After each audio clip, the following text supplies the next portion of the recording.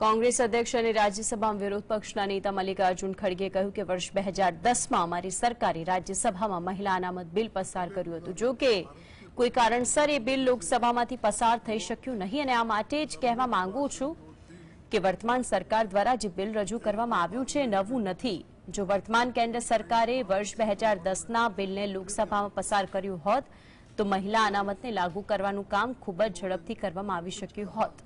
મને એ લાગે છે કે ચૂંટણીને પગલે તેઓ મહિલા અનામત બિલ મુદ્દે માત્ર પ્રચાર પ્રસાર કરી રહ્યા છે જનગણના અને સીમાંકન પ્રક્રિયા બાદ જો બિલને લાગુ કરવામાં આવશે તો પ્રક્રિયામાં ઘણો લાંબો સમય લાગી શકે છે આ સાથે જ અમે એ માનીએ છીએ કે મહિલા અનામત બિલને લાગુ કરવું જરૂરી છે અને અમે તેનું સમર્થન કરીશું આ બિલની કેટલીક ખામીઓ પર અમે સરકારનું ધ્યાન દોરીશું एक तो पार्लियामेंट 2010 में राज्यसभा में हमने पास किया है लेकिन लोकसभा में वो फेल हुआ किसी कारण।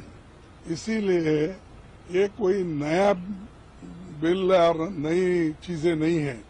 अगर वो उसको ही दोहराते तो जल्दी आज तक होता था। और दूसरी चीज़, ये सभी लोगों को विश्वास में लेके एक क्लॉज बाय क्लॉज बनाना है डिस्कशन करना है। शायद वो इतनी जल्दी वो नहीं कर